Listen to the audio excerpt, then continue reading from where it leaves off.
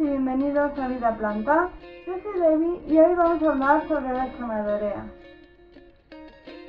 Su nombre científico es Somadorea elegans, que en latín significa elegante regalo sobre el terreno.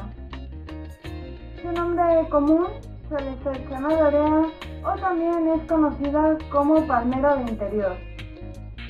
Pertenece a la familia de las arecáceas es decir, es hermana de la areca y la kentia, por eso se le parece tanto. Y su origen es México y Guatemala. Estas plantas son de crecimiento muy lento y pueden alcanzar hasta el metro, metro veinte en México y en, en, otros países, como aquí en España, puede alcanzar más o menos los 80 centímetros. Es una planta, eh, junto con el Spaticinium y el Anthurium, purificante. ¿Qué quiere decir? Que según los estudios de la NASA, suelta más oxígeno que cualquier otra planta común. Esta planta florece cada dos años. Realmente le salen unas florecitas pequeñas y luego le sale un frutito chiquitito que es el que eh, se cae, tiene forma de coquito se cae y eh, vuelven a salir, ¿vale? Pero siempre las floraciones cada dos años. Es bastante resistente y suele aguantar temperaturas entre 5 y 7 grados, aunque su temperatura ideal es de 17 a 23 grados.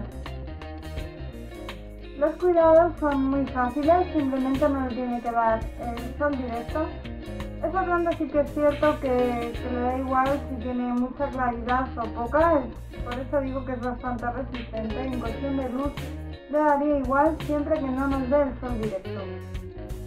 El riego es moderado, siempre hay que dejar secar totalmente la tierra antes de volver a echar agua o en caso de la coquedama ya sabemos que es cuando nos deje de pesar totalmente.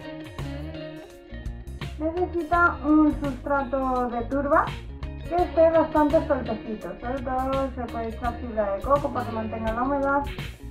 Y sobre todo que esté suelto. Normalmente están acostumbrados a climas húmedos, con lo cual necesita un poco de humedad.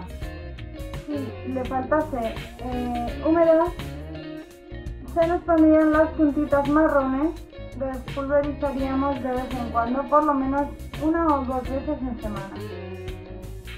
Las plagas que le suelen afectar a la zanahoria son sobre todo por falta de humedad, la araña roja y la cochinilla, o por exceso de humedad, el hongo que, normalmente se, se, pone en el cuello y, y las partes, o la podredumbre. Bueno, yo creo que os he contado todo sobre la tromedorea. Si me he dejado algo, ya sabéis que podéis dejarlo en comentarios. Y si os ha gustado el vídeo, darle a like, compartirlo y si no lo estáis, suscribiros. Nos vemos en el siguiente vídeo.